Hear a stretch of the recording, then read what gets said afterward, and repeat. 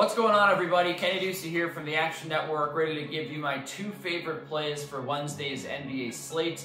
This is Daily Action Picks.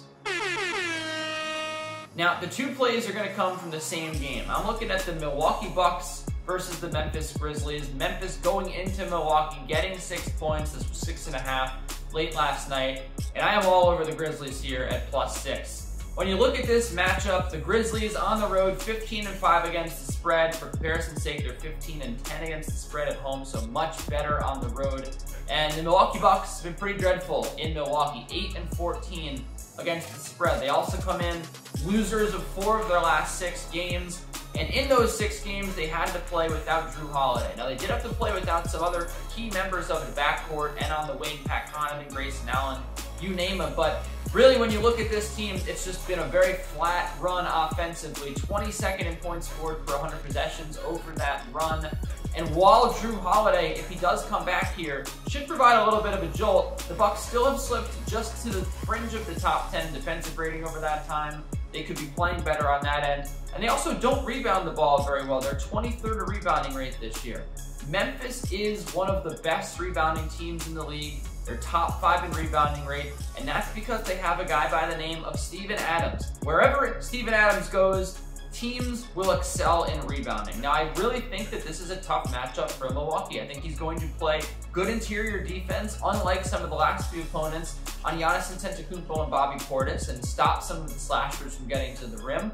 He's also going to control the narrative on the glass very much and steal some extra possessions for Memphis. I, I just don't really love the matchup for Milwaukee, especially at home where they've struggled. And because of that, I'm also going to be on the under 47 and a half points, rebounds, assists for Giannis Antetokounmpo. This is a Memphis Grizzlies team over the last two weeks. They're top five in defensive efficiency, and I don't expect a lot of points coming from Milwaukee. With that, I don't think Giannis racks up the, the assists. I don't think he racks up the points against a strong post defense. And rebounds, we already just mentioned, should come at a premium. So I think that this is a great way to sell high on Giannis Antetokounmpo here. You get the added bonus of Jrue Holiday coming back and maybe taking some shots away from Giannis. I think if Holiday comes back, maybe we like the Grizzlies plus six just a little bit less, but we love the points, rebounds, assists under a little bit more. And Holiday doesn't come, I still think that prop can cash. And now there's a, you have a great number on Memphis which is a very, very hot team right now. They had an 11 game winning streak snapped over the weekend. They're rolling, they're playing incredible defense. I think this is going to be a really close game, and Memphis pulls it out on the road, makes it a very close one, one possession game, and they pull out the cover and continue on their hot run. That's it for me. You can check out plenty of our amazing content on ActionNetwork.com, on the Action Network app. You can follow me on Twitter at Kenny Ducey. What you can also do is you can like this video if you really, really think that the Memphis Grizzlies cover the six points.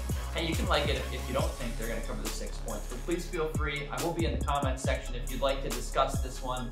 And I'll tell you all about how Memphis is going to cover. And you're crazy. But feel free to leave a comment as well. That's it for me, and we'll see you next week.